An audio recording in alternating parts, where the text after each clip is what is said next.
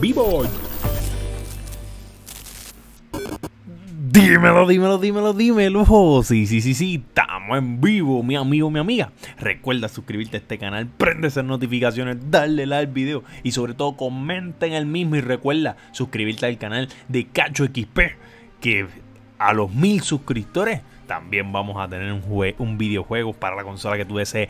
Vamos a hablar aquí acerca de cómo tú puedes pasar lo que es el dungeon de Bernard en el segundo despertar. Es bastante simple con monstruos farmeables que es bien fácil de conseguir. Quizás Crow es hacerlo en el Second Awaken, pero ustedes van a ver. Tenemos que entender muy importante cómo podemos pasar esto de una manera rápida y fácil. Eh, es bien importante ustedes poner a ver de heal de líder skill. Recordamos que esto aquí también es como si fuera un dungeon y lo que son los líderes skill de dungeons te van a, funcionar en lo que son los Second Awaken. So, por eso Verde Hill de líder skill que te va a dar eh, velocidad. Va a estar aquí con ustedes Fran, también va a estar Verde Hill. Entonces, vamos a explicar la estrategia de por qué va a ser esta ecuación de estos tres monstruos. El grifón en este caso es Baru. Eso va a ser también fácil con Spectra. Mucho más fácil con Spectra y voy a explicar por qué pronto. Pero es un equipo que por lo menos no he fallado. Pero en este orden. Tienes que ir en el cristal de la izquierda. El cristal de la izquierda es muy importante que lo ataquen porque este cristal de la izquierda te puede atacar 6 veces por lo que es la velocidad. So, si Bernal hace ese bufo, si Bernal hace ese bufo, eh, te va a atacar y entonces te va a hacer daño. So, es bien importante que ataquen el cristal de la izquierda y luego ataquen el de la derecha, que ataca dos veces, ataca a AOE y puede eliminar lo que son efectos benéficos. So, luego entonces ustedes van directo al Bernal y lo van a pasar constantemente bastante rápido. So, eso es bien importante que entendamos. Estos monstruos que están aquí, ¿Lo van a pasar 100%? Sí, lo han pasado 100%. Lo único es ese orden. Cristal de la izquierda, cristal de la derecha. Vamos nosotros a analizar bien qué es lo que hace cada cristal y por qué tenemos que hacer esto. Yo, yo lo intenté de otras formas y en otras formas pues no lo pasaba 100%, ¿verdad? So que entonces lo importante es que ustedes vengan acá y ustedes vean que el cristal de la primera es el que ataca y absorbe la barra de ataque del enemigo un 15% y puede atacar hasta 6 veces a un solo objetivo según la velocidad de ataque. Por eso es que dicen según la velocidad de ataque, porque si Bernard hace el bufo, pues ahí te va a atacar y te chavaste. No lo debe hacer. En la segunda torre, que es la de la derecha, es que ataca al enemigo las dos veces y puede eliminar lo que son los efectos, los efectos benéficos hasta 50%. Está bien. Y aumenta la barra de ataque de todos los aliados. O por eso, por eso, tú quieres eliminar esta primero para que entonces Bernal no te dé el bufo y esta no incremente la barra de ataque en un 10%, ¿verdad? Por cada efecto benéfico que él quito. Por eso si te llevas a Fran. Hay otra manera de cómo tú buildear otro equipo para pasar esto, sí, y lo vamos a ver también. Las gemelas son contraproducentes hacerlo. Pues mira, lo intenté con las gemelas y realmente desde el nerf que le hicieron a China, que bajaba barra, no veo a las gemelas tanto para pasar lo que era los Warbird y lo que son los Inugami. Y aquí tampoco creo que es la excepción en lo que es el B5. Yo en el video anterior que mostraba, eh, que lo hicimos ahorita, hace. ¿Cuánto? Hace. ¡Wow! DH. Hace casi 4, 5 horitas lo, lo hicimos. Y realmente en los primeros pisos sí. Pero en este piso es bastante fácil. Entonces, ¿Por qué digo que va a ser bastante fácil? Porque sabemos que hay varios Griffon que te pueden romper defensa, que es Bernal y lo que es Varus. Ellos pueden romper defensa y el ataque. So que entonces ellos ahí sí te van a, poder ayudar. Pero Raok, escúchalo bien. Si el Griffon, por ejemplo, te llevas un Spectra, que Spectra no te va a romper ataque ni, ni defensa, ¿verdad? Si no están en el Second Weekend, pues entonces, ¿qué yo voy a hacer? Tienes a Rauk. Rauk rompe si defensa. Rauk yo no lo tengo Violent, quiero que lo sepan. Sería muy bueno que Rauk tuviera Violent. Y ven que en esta parte de aquí es bien importante que uno le rompa defensa. Porque si no le rompe defensa, mira, ahí ya subió el bufo. Y yo tengo que urgentemente matarlo porque, uff, si no, válgame. Eh, mira, mira ahí, ¿ves? Ahí hicieron el ataque.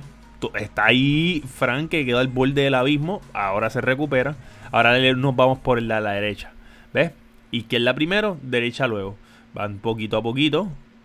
De a poco ahí van. ¿Ves? Ahí ya tira la bendición de la jada. Y ya, tan pronto pase eso, ya pasaste el peligro. Pasaste el peligro y entonces vas a poder entonces ahora eliminar a lo que es Bernal. Y va a ser bastante simple, bastante sencillo. No, va, no vas a tener que preocuparte si lo haces de esta manera. Lo haces en un buen tiempo.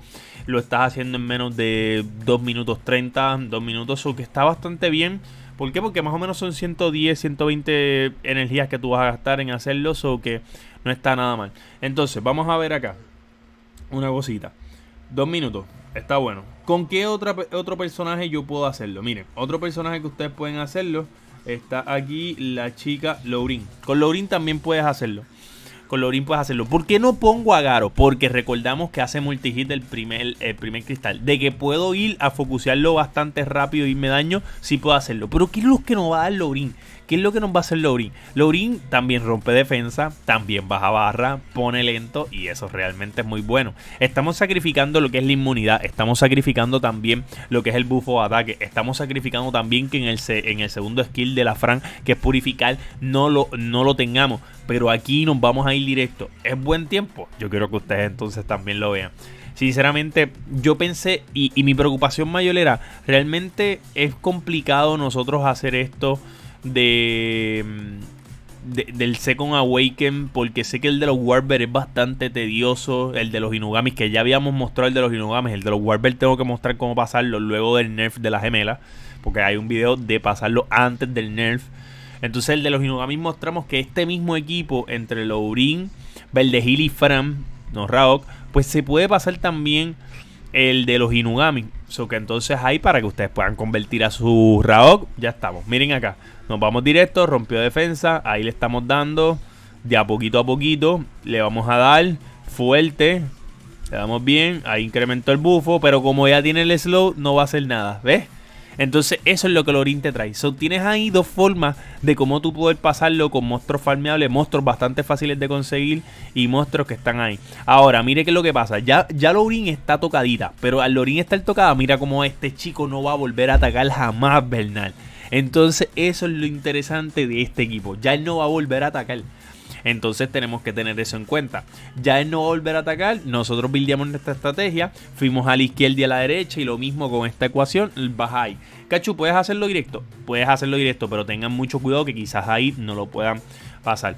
¿Cuánto es el tiempo de este equipo? 1.54, menos de 2 minutos, como le dije, va a ser menos de 2 minutos 30. Vamos una vez más para que ustedes vean con este equipo y mostramos entonces las runas para que vean que es algo sencillo. ¿Por qué? Porque mi Raok no es Violent, me encantaría tenerlo Violent. Entonces, pues mi Laurin es, es Revenge, entiendo que es HP, yo quiero una Laurin de ataque, por eso están viendo que pronto subiré una Laurin de ataque. So que entonces ahí ahí está interesante. Ahora, Varus sí está runeado. Varus sí está runeado. Y entonces, pues Varus va a tener. Va. También hace la función. Porque Varus también está rompiendo eh, defensa, rompe ataque. Y hace el trabajo. ¿Ves? Mira, ahí lo hace. Vamos barras. Vamos aquí. Rompemos defensa. Me gusta mucho este equipo, ¿verdad? Sinceramente. Me gusta mucho este equipo. Ahí le da 1, 2 y 3. Muy importante acá, ustedes controlan esos grifos. Aquí no se tienen que preocupar porque te estás llevando Raok, te estás llevando Verdegil si los tienes con buen HP. Y van a ver que mi Raok no tiene un buen HP para hacer el trabajo. ¿Ves? Ahí nos rompió defensa, pero está Laurin, pone lento. Aquí viene Raok, viene Varus dándole suavecito. Aquí le seguimos dando, ¿ves? Raok todavía no se ha quedado peor con la rabia. No nos va a preocupar este bufo. ¿Por qué? Porque lo va a hacer. Y ahí va de a poquito. Le sigue dando. Le sigue haciendo, ¿ves? Va dándole otra vez. Y ya. O sea, no va a haber tipo de problema. Ah, pero es que los Urin están y están ahí bregando. Miren esto. Bup, bup, ya no va a atacar más nada ya no va a atacar más nada. Eso es bien importante a las torres para que entonces Bernal no ataque. No te voy a decir, no te voy a decir que te enfoques en Bernal porque es que el ataque de la, torre de la izquierda te puede eh, focusear a Lourin si, no la, si la tienes bien squishy. O sea, squishy es que no tenga tanta vida, te la puede focusear y entonces se te va a complicar la situación. Eso es bien importante que entendamos, ¿está bien? So, entonces, vamos a ver acá. Ya está. Ya ahorita vamos a tener esto arriba. So que entonces mostrar el, review de Varus. Y mostramos acá rapidito cómo son, ¿verdad? Aquí vamos a mostrar las runas. En Riven. Ya ustedes la habían visto en los videos de cómo pasar. No están en 15. Muy importante estas runas que estén en 15. Si no lo están. Ustedes van ahí. Verde Hill. No están en 15. La misma, la 1, la 3 y la de 5 no están en 15. Miren aquí. No están en 15. No están en 15. Y miren acá Varus. Varus aquí. No están en 15. Y algo que yo digo que es importante para ustedes asegurar, no están en 15 y con todo eso yo lo estoy pasando. Recuerden que también mis torres están arriba y eso, pero acuérdense aquí que él está de líder skill. ¿Dónde está la Fran? ¿Dónde está la Fran? Le muestro acá a la Fran también que pueden hacerlo con la Fran o pueden hacerlo con la Orin. De los dos equipos, ¿cuál es el más fácil? Todo dependiendo, si, eh, si no tienes a Fran, pues la tienes que conseguir en el CoinShot. Entonces eh, ahí pues quizás se te va a complicar, pero es más fácil entonces con Laurin porque la sacas en un Secret Dungeons. Y son monstruos totalmente farmeables. Para que los que no sepan dónde conseguir a Fran, Fran la consigues aquí. Vas a la tienda antigua, monedas antiguas. Y aquí es que tú consigues a Fran. Está bien, estas monedas tú las consigues a través de los eventos. Son mi amigo, mi amiga. Esto es todo. Como tú puedes pasar lo que es la dimensión o el hoyo dimensional. La versión de Carsan. Lo que es la mazmorra del segundo despertar de los grifos. Estamos en vivo ya, Troluli. Bye bye.